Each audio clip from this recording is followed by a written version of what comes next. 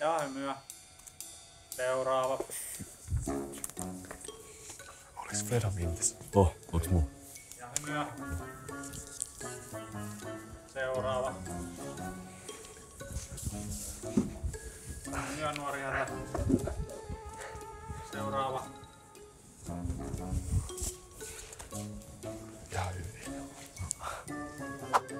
Oho, nämä koulukuvat tuli jo.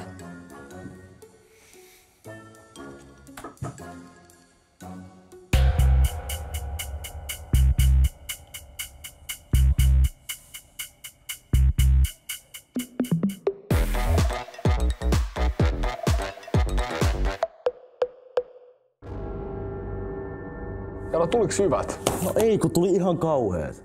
Siis mulla oli naama ihan vinossa ja, ja tyhmä ilme ja tyhmä paita. Sitten taustakin oli ihan väärän värinen. No ei se nyt noin paha voi olla. No ei toi tullut yhtään iteltä. No hei, come on, kyllä se voi meille edes näyttää.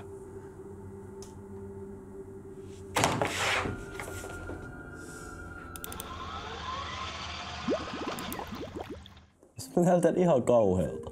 Älä nyt. Hei, ensi vuonna on uusi mahis. Mutta siihen menee vuosi. Mä haluan vuotta. Ei no nyt oikeesti ole niin pahat. Eikä maailma kaadu noihin. Miten tää voi tuntuukin näin pahalta? Mulla on kerrankin mahdollisuus saada, saada ihan hyvät kuvat ja sit, sit mä vaan tyrin sen täysin. Ja mä haluan, mun vanhemmat tuhlaa niiden rahoja näihin kuviin. Älä nyt viitti.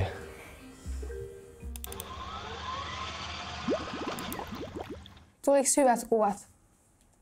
No ei, tuli itse asiassa aika tosi huonot kuvat. Ai kui? En mä tiedä, mä vaan näyttänyt omasta mielestä yhtään kivalta ja nyt mä harmittaa. Hei Aaron, onko sun porukoilla vielä se järkkäri? Ehdotatko sä sitä, mitä mä veikkaan?